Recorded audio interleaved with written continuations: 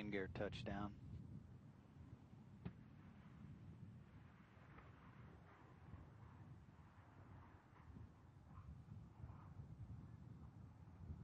Nose gear touchdown. Space Shuttle Atlantis is rolling out on runway 22 at Edwards Air Force Base, completing 197 orbits of the Earth while traveling 5,276,000 miles. This landing marks the 53rd shuttle mission to end at Edwards Air Force Base. Atlantis spent seven days servicing the Hubble Space Telescope that included five spacewalks, totaling a record 37 hours. Atlantis has completed its 30th mission and the 126th in the history of the Space Shuttle program.